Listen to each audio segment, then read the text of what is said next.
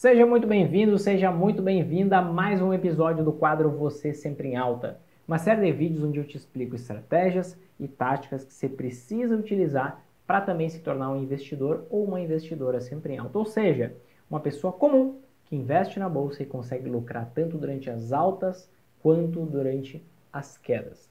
E o tema do episódio de hoje é por que analisar gráficos te impede de estar tá sempre em alta investindo na bolsa. Quando a gente pensa, quando a gente fala em bolsa de valores, até agora mais cedo eu estava conversando com uma aluna minha, com a Débora, na mentoria Sempre em Alta, uma live que eu fiz no meu Instagram, duas horas atrás. E ela estava comentando, poxa, quando eu fa ouvia falar sobre bolsa de valores, na minha cabeça já vinha uma dúvida, já vinha uma questão. Eu preciso ser bom em matemática, eu preciso ser boa com números.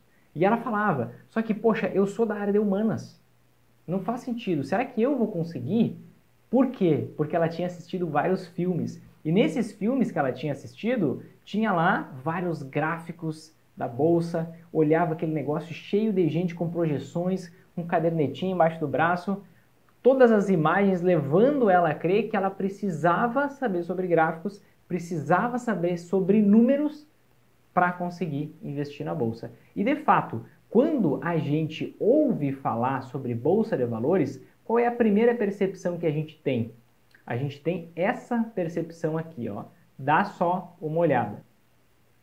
A gente enxerga um gráfico e a gente vê um gráfico assim tá caindo, um negócio está subindo, tem umas corzinhas, uma cor diferente, uma corzinha, poxa, tem um formato de vela cada negócio desse. O que, que significa isso? Alguns têm uma cor vermelha, outros uma cor verde, e aí alguns têm tipo uma vela com pavio para baixo, outras têm tipo uma vela com pavio para cima, e aí mas os verdes têm pavio para cima, não, também tem verde com pavio para baixo. Meu Deus! E quando a gente olha isso daqui, a gente interpreta que precisa saber disso para investir na bolsa. Quando na verdade a gente não precisa saber absolutamente nada disso. Só que o que, que é mostrado para a gente, o que, que é mais exibido para a gente? É isso.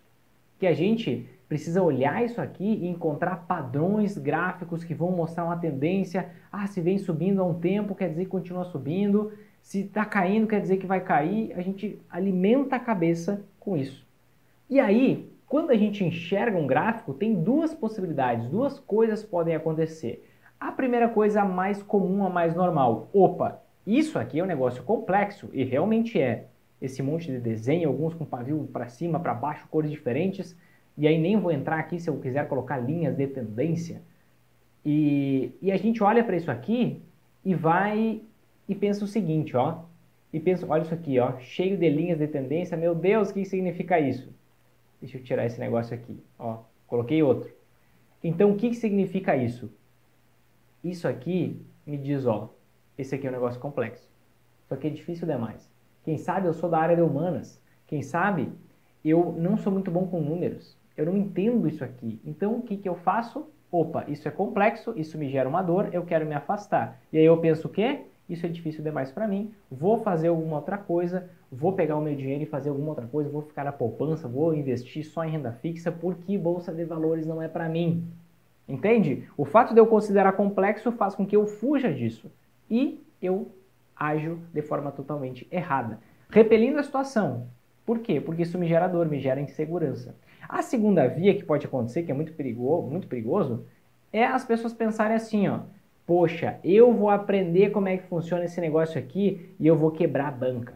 Eu vou ganhar, eu vou ter lucratividade mais que as outras pessoas, e eu vou ter mais sucesso que os outros. Eu sei que 99% de quem lida com gráficos para investir ou talvez eu não sei, mas isso é um dado que eu vou te mostrar, tá? 99% das pessoas que olham isso aqui para investir têm prejuízo. Eu vou ser parte do 1% que vai fazer o que 99% faz e vai querer um resultado diferente.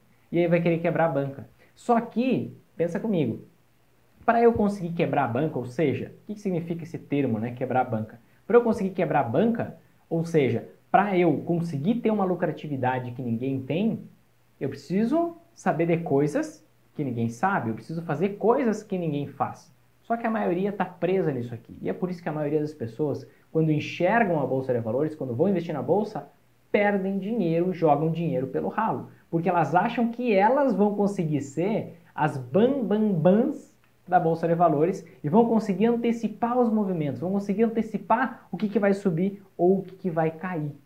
Poxa, só que você não tem uma informação privilegiada. E se tiver, aqui nessa live não é o teu lugar. Porque aí você está cometendo um crime e, eu, e se você cometer um crime e continua cometendo consciente, poxa, aqui não é o melhor lugar para estar tá aqui, tá bom? É só partir. Aqui não é tua live, não é da nossa comunidade dos investidores sempre em alta. Aqui a gente anda dentro da lei, tá bom? Mínimo é isso, né? Mas olha só, não faz sentido. Ou o gráfico vai me repelir, ou ele vai me dar uma falsa sensação de que eu tenho a possibilidade de ter uma rentabilidade muito acima da média, mais que os outros, fazendo a, o que todo mundo faz, eu vou ter um resultado diferente. Isso não faz sentido nenhum. Por quê? Porque eu não tenho nenhuma informação diferente. Por quê? Eu vou estar fazendo a mesma coisa que todo mundo. Mas olha só, olha só, foca comigo. Vamos cair na real. O que é um gráfico? Deixa eu te mostrar de novo aqui. O que é um gráfico? Vamos facilitar as coisas. Vamos facilitar as coisas. A gente tem a infeliz tendência em dificultar. Vamos facilitar. Olha aqui comigo. Esse gráfico aqui, que você enxerga nessas velas, eu vou trocar aqui ó, e vou colocar uma linha. Pronto. Isso aqui já serve. O que, que eu estou te mostrando aqui? Eu estou te mostrando o gráfico do índice Bovespa. O que, que é o índice Bovespa? É um índice que calcula a rentabilidade média das ações brasileiras. Tá? Nesse gráfico aqui, ó, aqui embaixo na linha horizontal eu tenho tempo, ou seja, anos, meses, tá? Eu consigo enxergar aqui. E aqui nessa linha vertical eu tenho uma pontuação, que é mais ou menos como se fosse o preço. Se eu colocar uma ação aqui, deixa eu colocar aqui uma ação, por exemplo, ação da, do Banco Itaú, tá? Coloquei o código dela aqui. Ação do Banco Itaú. Ó, vai aparecer para mim, não dá, eu vou ter que tirar aqui o. Pronto, ação do Banco Itaú vai dizer para mim que está R$ 32,18, tá? Esse índice Bovespa, ele é em pontos ao invés de em reais ele é um índice que é calculado com uma certa pontuação. E o que eu consigo ver aqui, tá? Eu consigo ver a média, para onde vai a média das ações durante um certo intervalo de tempo. Ou seja, se esse índice Bovespa está caindo, significa que as ações brasileiras, em média, estão tendo queda, os preços estão caindo. Se esse índice Bovespa aqui está subindo, eu consigo perceber que a média, na média, as ações estão subindo. Então isso aqui é como se fosse um termômetro, uma espécie de termômetro das ações brasileiras, tá? E basicamente, o que, que vamos pensar racionalmente, vamos ser realista. O que, que o gráfico me mostra? Ele me mostra o registro, nada além disso. O registro do preço de alguma coisa com o passar do tempo. Então eu consigo ver ó, que no dia 1 de outubro de 2019, esse índice Bovespa estava sendo cotado, está lá na direita, ó, Está lá na direita. Então, 1 de outubro de 2019 a 103.239 pontos. É uma pontuação, tá? Como se fosse em reais. Se fosse uma ação, seria em reais. Agora, vamos olhar aqui. No dia 23 de março de, março de 2020, ele estava sendo cotado a 62 mil pontos.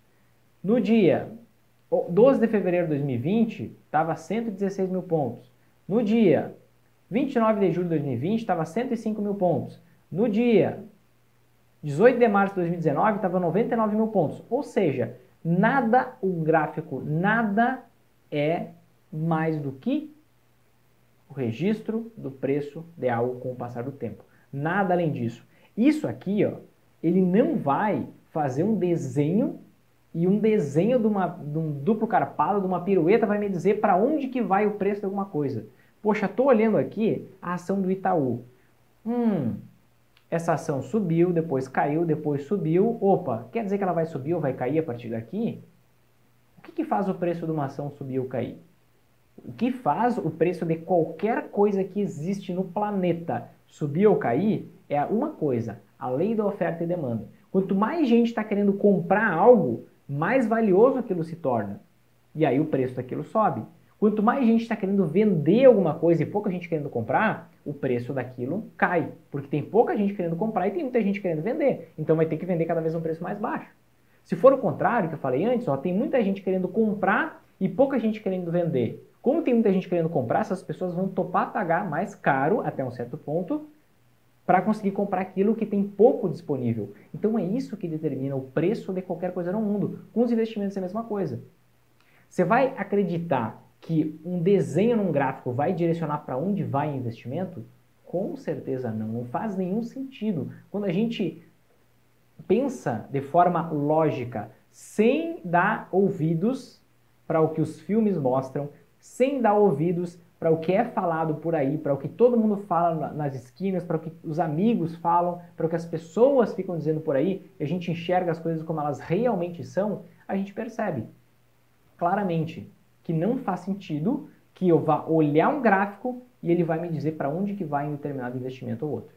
Vou ter provar isso. Poxa, tu pode imaginar agora, faz sentido eu seguir a tendência de um gráfico? Vou te mostrar agora na tela do computador uma prova cabal, uma prova cabal de que não faz sentido olhar para gráficos. Por quê? Quem que quem são as pessoas que mais analisam gráficos para investir na bolsa? São os chamados day traders ou os traders, tá? O que, que são traders? São pessoas que operam na bolsa de valores. Eu não opero, eu invisto. O que, que eu faço? Eu pego meu dinheiro, vou lá, coloco em bons investimentos e faço eles se multiplicarem por mim, eles se multiplicarem por mim com o passar do tempo. Eles trabalham para mim, não sou eu que fico olhando o gráfico o dia inteiro para trabalhar por eles, entende? Inverte a lógica. Tem tua renda em alguma atividade e aí pega uma parte dessa renda, investe e faz essa renda, esse dinheiro trabalhar por ti. Isso é investir, tá? Agora, agora, se eu estiver fazendo day trade, por exemplo, se eu estiver comprando e vendendo ações todo dia, isso é day trade, analisando o gráfico, tentando encontrar tendências que me digam para onde vai um investimento ou outro, aí eu estou trabalhando pelo dinheiro. Agora, vale a pena? Faz sentido fazer isso? Olha só, vou te mostrar aqui a última pesquisa, na tela do computador, a última pesquisa que foi divulgada foi feita pela FGV sobre day trade. Olha só, profissão day trader, chance de sucesso é muito menor do que você imagina. A FGV ela faz um estudo anual, tá? Ela fez 2019, até comentado aqui nessa, nesse resumo do Valor Invest, é comentado aqui é, os resultados de 2019 e é exposto também os resultados de 2020. Olha só, apenas 0,6 daquelas pessoas que tentam operar day trade de ações persistem na atividade. Aponta estudo FGV e 0,1% das pessoas têm lucro. Ou seja, 99,4% das pessoas param de tentar. E 99,9% não tem lucro. Ou tem prejuízo ou fica no zero a zero. Vamos ver mais detalhes aqui, ó. Deixa eu ver. Aqui, ó. ó o estudo, ó, o primeiro achado do estudo é que todos os 98.378 indivíduos que começaram a fazer day trade em ações no Brasil entre 2013 e 2016 e operaram, ou seja, ficaram comprando e vendendo ações até 2018, apenas 555 fizeram day trades, fizeram essas operações em mais de 300 pregões, ou seja, 300 dias úteis. Mais ou menos isso vai dar um ano e dois meses. Ou seja, de 98 mil pessoas, 554 persistiram nessa atividade. Tá? Isso significa que, poxa, se esse fosse um bom negócio, é o primeiro sinal. Se esse fosse um bom negócio, por que, que só 554 pessoas de 98 mil continuaria fazendo? A imensa maioria, 99,43%, não persistiu na atividade ou acabou fazendo transações do tipo com frequência baixa o suficiente para não serem caracterizados como uma atividade regular. Vamos ver os resultados aqui. Ó. Ó, dos 98 mil, entre os 554 que persistiram, que fizeram isso por mais de um ano e dois meses, por pelo menos um ano e dois meses, o resultado diário bruto foi de R$ 49,00 de prejuízo, em média, e de perda de R$ 68, 62,00 na mediana. Tá? O que importa para a gente aqui, vamos pegar a média, não precisa pegar pela mediana. Tá? Então, dos que ficaram, não de todo mundo, somente dos que ficaram, persistiram, na média tiveram R$ 49,00 de prejuízo por dia.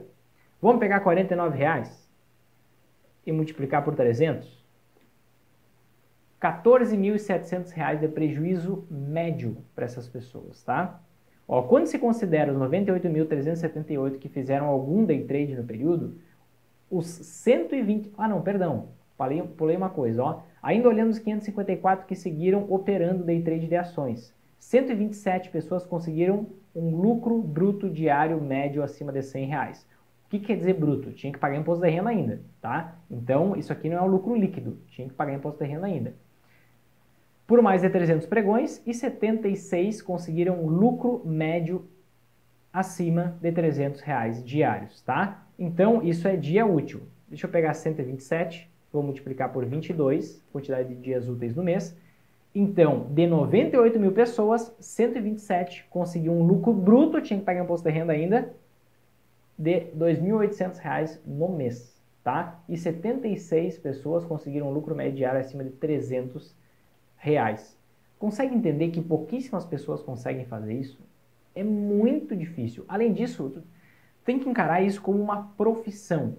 Só que uma profissão onde 98 mil tenta e 127 tem algum sucesso para ganhar R$ 2.800 bruto, não líquido, por mês. Entende? Então, a probabilidade joga muito contra ti. E tem uma razão de ser que tu vai entender daqui a pouco, tá?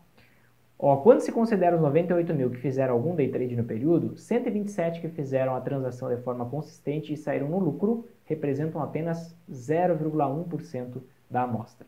Entre os poucos que persistiram, porém, eles representam 23% do total. Então, de quem persistiu por mais de um ano e dois meses, poxa, 23% teve algum resultado. Os outros tiveram muito prejuízo que logo saíram, tá? Então, 0,1% de todo mundo que tenta tem algum tipo de resultado. Isso joga muito contra ti. Aqui tem os critérios das pesquisas, da pesquisa, se, se a gente quiser analisar, mas aqui tem mais resultados, ó. Tem uma mística que diz que Quanto mais tempo, ó, quanto mais tempo a gente fica executando uma determinada atividade, mais a gente vira especialista nessa atividade. E muita gente defende o day trade dizendo isso, que tem um, um certo ciclo de evolução. Quanto mais tempo eu fico dedicando para eu aprimorar as técnicas, conseguir tentar encaixar ali, melhor vai ser o meu resultado. Mas olha só o que, que eles fizeram. Eles excluíram as primeiras 200 sessões como um período de aprendizado. Ou seja, pegaram aqueles que ficaram por 300, 300 pregões, 300 dias de day trade e excluíram os primeiros 200, tá? Pegaram só após os 200. E vai contra essa justificativa, porque existe uma piora, ligeira, pequena, mas uma ligeira piora no desempenho se a gente excluir os primeiros 200 dias de de operação. Eu ia dizer investimento, mas não é investimento. Ó. A média de prejuízo aumenta para R$ 91,00 e a mediana continua em 62, tá? Uhum. E aqui tem mais informações que a gente pode ler, mas eu acho que é totalmente desnecessário porque vocês já pegaram, vocês já entenderam o ponto. Tá? Isso eu uso um dado científico, uma pesquisa, tá? Para te mostrar, essa aqui é 2020, teve a de 2019, todos os anos tem, dá para seguir acompanhando, mas nunca foge dessa linha, tá? Mas agora eu quero te mostrar uma outra coisa, tá? Quero voltar aqui para o gráfico para te mostrar que você não precisa saber nada, não precisa olhar os gráficos para investir. Eu só vou pegar aqui e vou te mostrar uma coisa. Eu vou te provar de uma outra maneira que não faz sentido eu tentar seguir tendências que o gráfico me mostra para eu ter sucesso investindo na bolsa. Olha só, peguei aqui, esse aqui é o gráfico, estou só vindo aqui para trás para conseguir te mostrar uma coisa, tá? Estou olhando aqui para o gráfico. Que gráfico é esse? É o gráfico do índice Bovespa. É o índice que calcula a rentabilidade média das ações brasileiras. Se esse, essa linha aqui está subindo, significa que na média as ações estão subindo. Se a linha está caindo, quer dizer que na média as ações estão caindo, tá? O que, que a gente consegue perceber? Olha só, vamos olhar para a história, vamos olhar para o que aconteceu antes, ou seja, para o que aconteceu nesses períodos que a gente está olhando aqui. Onde que eu estou olhando agora? Estou olhando para 1995, tá? O que aconteceu aqui em 94? Vamos lembrar, 94 aconteceu o Plano Real. E aí as ações, o Plano Real foi o, o, o real foi a moeda que estabilizou a nossa economia brasileira, né? E aí o que aconteceu? Rapidamente as ações subiram. Quanto que as ações subiram? As ações subiram, olha lá, deixa eu colocar aqui. Vou colocar em percentual, ó. As ações subiram quanto?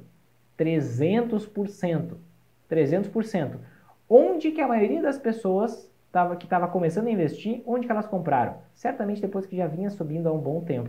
Depois dessa alta aqui, que todo mundo acreditava que ia continuar se valorizando, por quê? Porque a, a, a economia estava se abrindo, estava dando tudo certo. Mas olha o tamanho da queda que veio.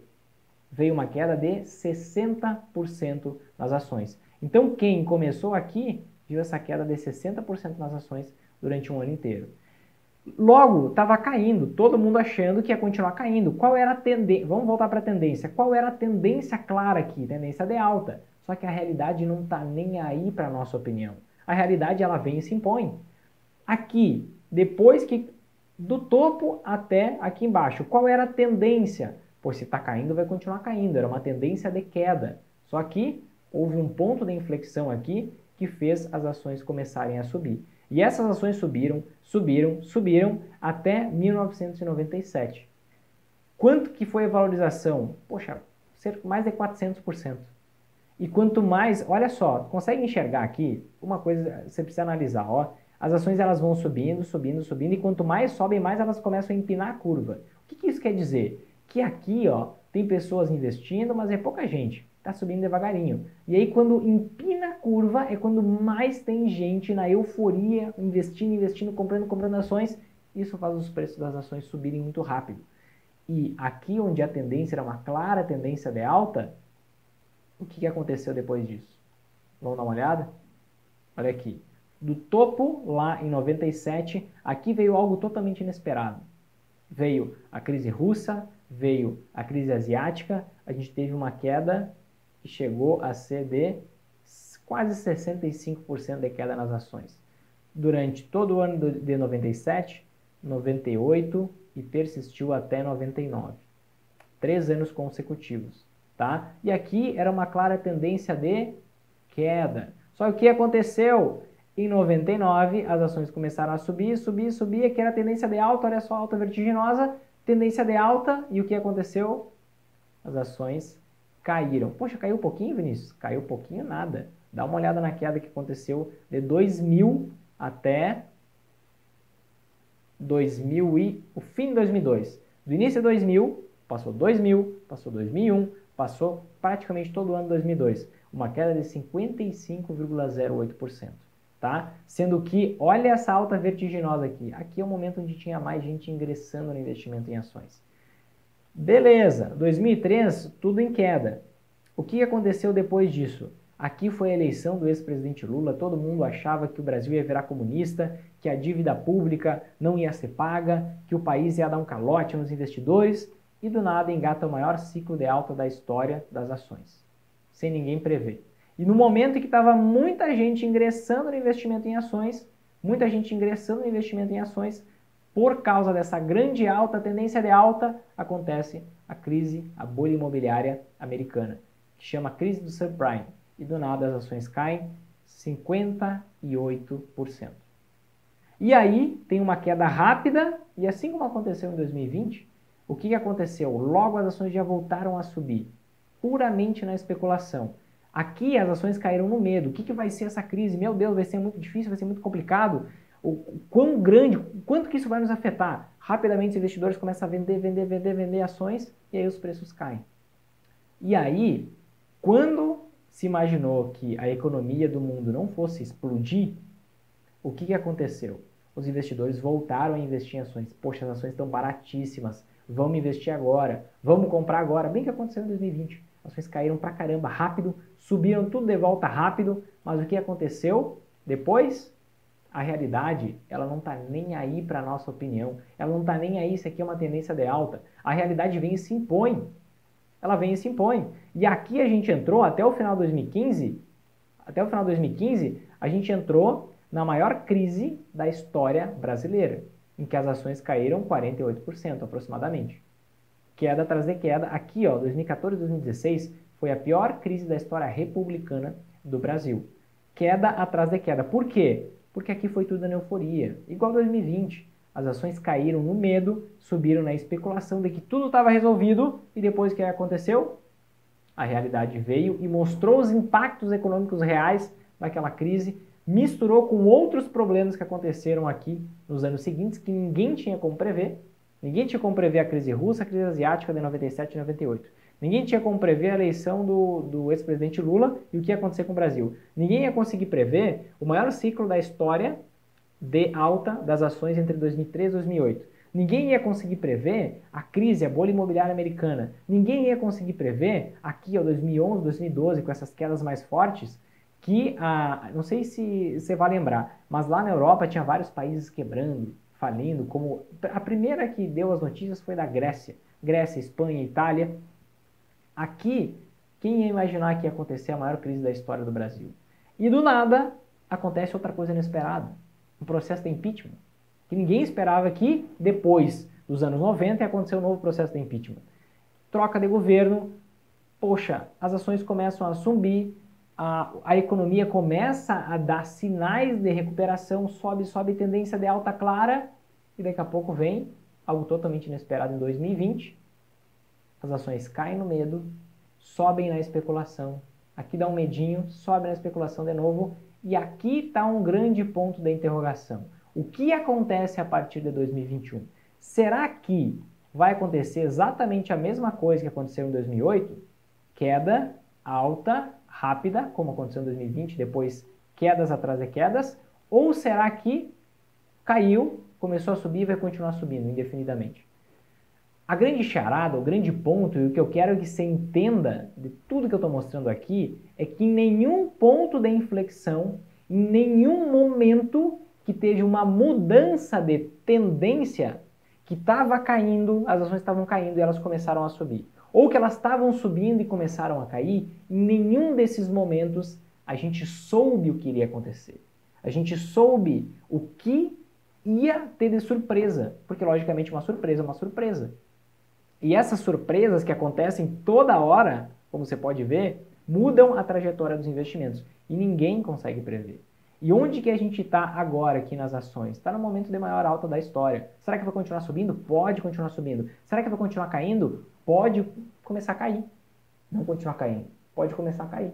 E ficar seis anos em queda, como aconteceu lá de 2010 até o final de 2015. Pode ser. Tanto que quem investiu, por exemplo, ó, o seu dinheiro, quem investiu em 2008 investiu aqui ó, em ações, em maio de 2008, só conseguiu voltar para o zero a zero mesmo aqui por 2017. Ficou todo esse tempo tendo perdas. E não tem como a gente adivinhar para onde vão as coisas. Isso aqui, ó, olha para esse gráfico. Isso aqui é só o histórico do preço de algo com o passar do tempo. Mais nada. Não fantasia que você vai clicar aqui, ó, e essas linhas vão te dizer para onde é que vai uma coisa ou outra. Não viaja, não viaja. Por quê? Porque isso é só o registro. Será que o fato de uma ação estar tá subindo vai fazer com que ela continue subindo? É óbvio que não. Olha essa queda aqui, olha essa queda aqui. Entende? Se a gente pegar os grandes movimentos, a gente nunca conseguiu prever um movimento como esse. Foca comigo. Tendências não existem. Absolutamente não existem. O que o ser humano faz é o seguinte: o ser humano ele não consegue lidar com a incerteza. Então ele cria mecanismos para ele transformar o mundo que é incerto por natureza em algo um pouco menos incerto, porque ele não sabe lidar com a incerteza, ele foge. Sabe aquela pessoa, sabe a gente quando está com um problema que foge do problema, a gente não quer encarar? É isso que a maioria das pessoas fazem. A maioria das pessoas fazem o quê? Elas têm um problema e elas não enfrentam o problema. A gente faz isso às vezes. Eu já fiz isso também. A gente não enfrenta o problema, a gente prefere não dar olhos e fazer alguma outra coisa. Basicamente, usar gráfico é isso. Eu tenho um problema, o mundo é incerto, eu quero transformar ele em algo um pouco mais certo. Eu quero saber a tendência do investimento, para onde que esse investimento vai, porque isso me gera uma dor.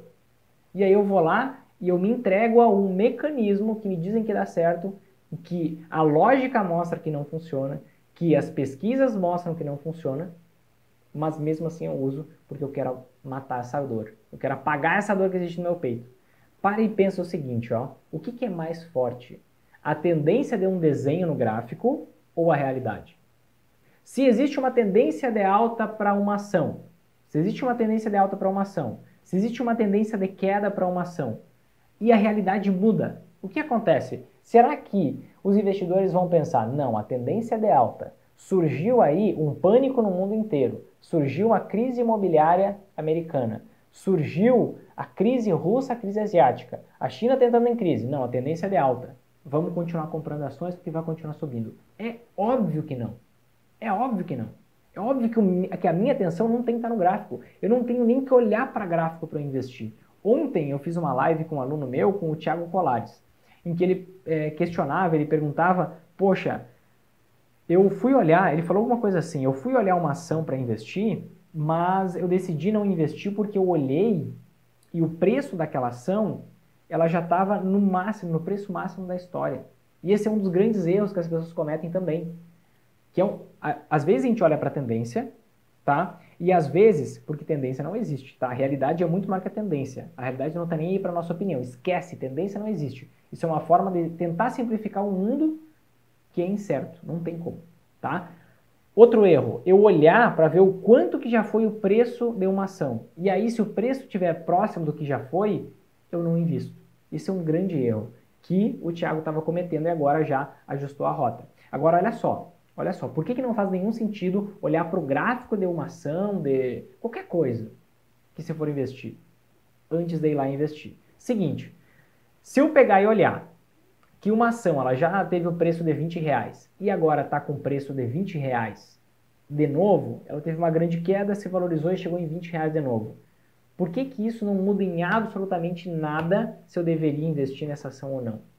Porque eu preciso olhar o seguinte: como era essa empresa que tem ações na bolsa naquela época, sei lá, dois anos atrás, em que ela custou 20 reais a primeira vez? E como essa empresa é hoje? Se naquela época a empresa lucrava 100 bilhões por ano, por exemplo, 100 milhões por ano, naquela época, e hoje ela lucra 500 milhões por ano, hoje, a 20 reais, essa ação está mais barata do que os 20 reais de antes. Por quê?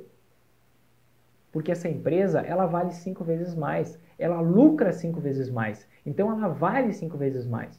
Então 20 reais hoje, talvez, aí depende da análise, talvez esteja barato para essa ação.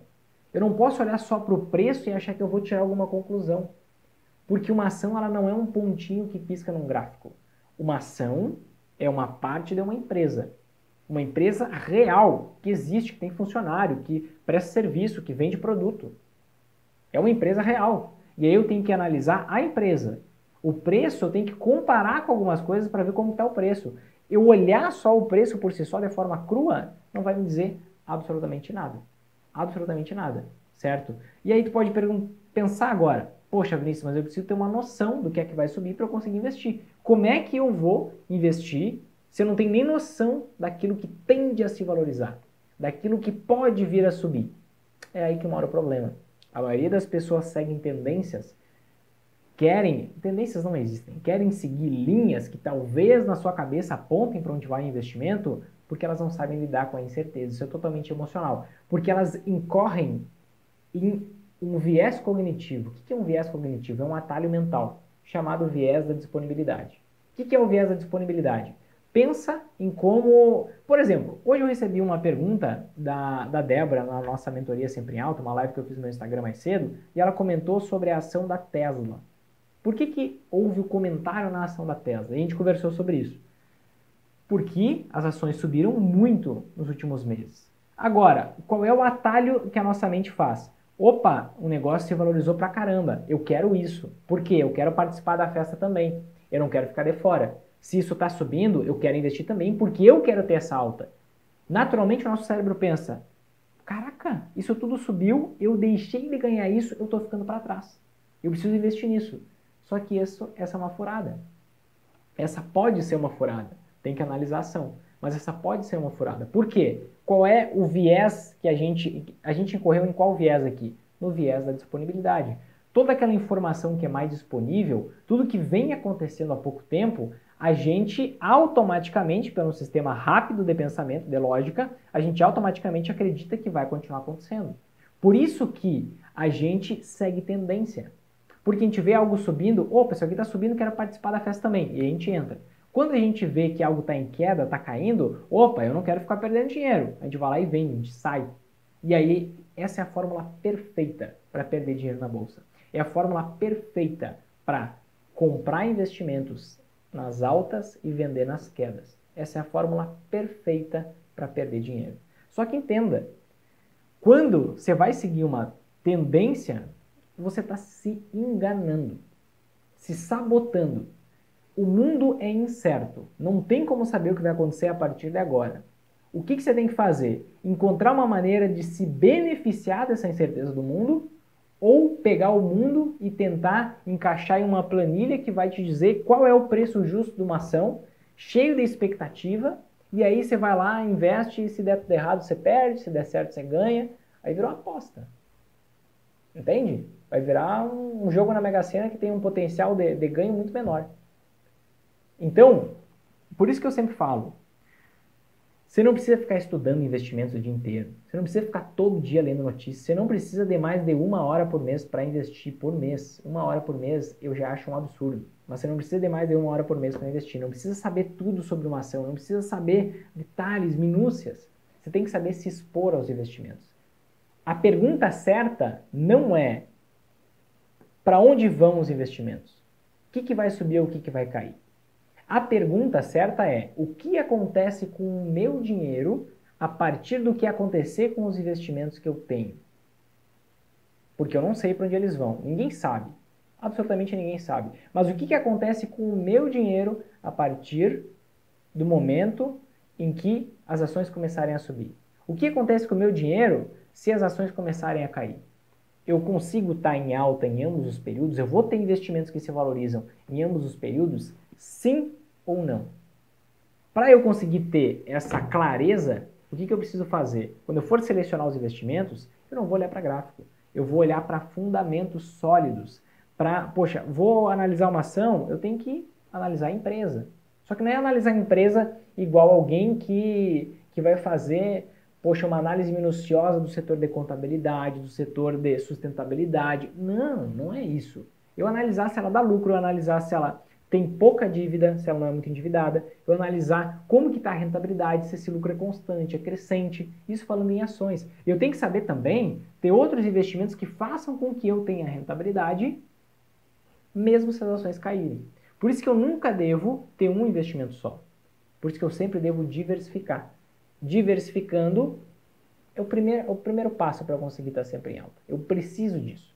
E quando você faz isso, você foca em fundamentos sólidos, você foca em indicadores que indicam quais são as melhores oportunidades, as que têm o maior potencial de rentabilidade. Quando você não fica olhando para gráfico que te diz que algo tende a acontecer, porque isso te dá uma falsa sensação de segurança, e aí você fica achando que está seguro quando na verdade não está.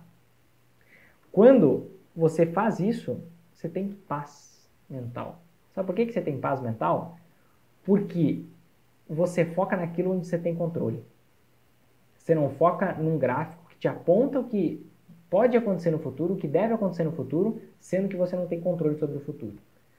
Por que, que a maioria das pessoas ficam permanentemente ansiosas, nervosas, preocupadas, tensas investindo? E nem na bolsa só. Às vezes até em renda fixa. Porque elas focam naquilo que elas não têm controle. Elas focam no que elas acham que vai acontecer. E aí, se elas estão certas, o que acontece? Elas ganham. Se elas estão erradas, elas perdem dinheiro. E quando, quando você perde um pouquinho, tem que rentabilizar muito mais seu dinheiro para voltar para zero a zero. E aí, no momento de perda, a maioria das pessoas saem por aí correndo dizendo que isso é aposta, isso é cassino, é jogo de carta marcada, todas aquelas coisas que a gente ouve sobre bolsa de valores. Quando na verdade a culpa não é da bolsa, a culpa é da minha conduta em relação à bolsa. Então entenda, gráfico fora, não faz nenhum sentido. A maioria das pessoas investem e fica olhando para o gráfico todo dia. Tenta plantar uma árvore e ficar olhando ela todo dia para ver se ela vai crescer mais rápido. Não vai crescer mais rápido. Se você for lá investir, ficar olhando para o gráfico todo dia, ver o que, qual linhazinha que vai para lá, qual é a tendência, o que, que vai acontecer com o passar do tempo? Pessoas vão comprar aquela ação, se muitas pessoas comprarem, o preço vai subir. Se muitas pessoas venderem, o preço vai cair. Simples, é isso que vai acontecer. Você ficar olhando para isso não vai fazer ela crescer mais ou crescer mais rápido. Não faz sentido nenhum. O apego a esse tipo de coisa, a gráfico, por exemplo, é um sintoma, é um sintoma muito claro de que você ainda não está pronto para investir. Eu digo isso com muita sinceridade, porque esse grande aumento no número de investidores na bolsa é algo legal, poxa, está sendo mais difundido, mais espalhado. Só que muita gente está entrando sem ter nem ideia do que está fazendo, olhando o gráfico, analisando o gráfico, achando que vai conseguir prever o futuro. Quando na verdade, se acontecer o contrário do que ela imagina, ela vai tomar um tombo e vai perder muito dinheiro. Ela vai passar por uma, quem sabe, uma daquelas que nos últimos 25 anos, uma das seis quedas maiores de 45% que aconteceram nos últimos 25 anos. Se a gente for pegar, vamos dividir 25 por 6. Então, mais ou menos a cada 4 anos, acontece uma queda de pelo menos 45% nas ações. E aí, se eu estou entrando na hora errada, às vezes eu fico 1, 2, 3, 5, 6, 9 anos tendo só desvalorização. Sendo que eu não precisaria. Sendo que se eu tivesse seguindo um método claro, eu poderia estar tendo rentabilidade, lucratividade, inclusive quando as ações estão em queda. Então sempre lembra do seguinte, ó, não importa o que tá, o que, que vai acontecer com o preço do investimento que você está fazendo. Importa o que acontece com o seu dinheiro, independente do que acontecer com o preço do investimento que você está fazendo. Isso é o que importa, porque aí você foca no que você tem controle e não no que você não tem controle. Aí você foca não no gráfico, mas na estrutura, na sua exposição aos investimentos. E a partir disso você tem resultado. Isso é o que separa quem tem resultado de quem não tem. É quando eu olho para minha exposição aos investimentos e penso: se as ações caírem, eu tenho rentabilidade? Sim ou não? Se as ações subirem, eu tenho rentabilidade? Sim ou não? Se a resposta for sim para os dois, aí sim eu sou capaz de estar sempre em alta. Agora, se a resposta for não para algum desses cenários, aí significa que eu vou ganhar nas altas, vou perder nas quedas. Se eu começar perdendo nas quedas, se eu começar perdendo nas quedas, eu vou ter muito menos dinheiro para investir, vou ter que multiplicar muito mais meu dinheiro para voltar para o zero a zero, para aí depois tentar ter algum tipo de rentabilidade. Então, tarefa, vou deixar uma tarefa para você que chegou até esse momento aqui comigo. A partir de hoje, nunca mais ou nunca leve em consideração um gráfico para tomar uma decisão de investimento.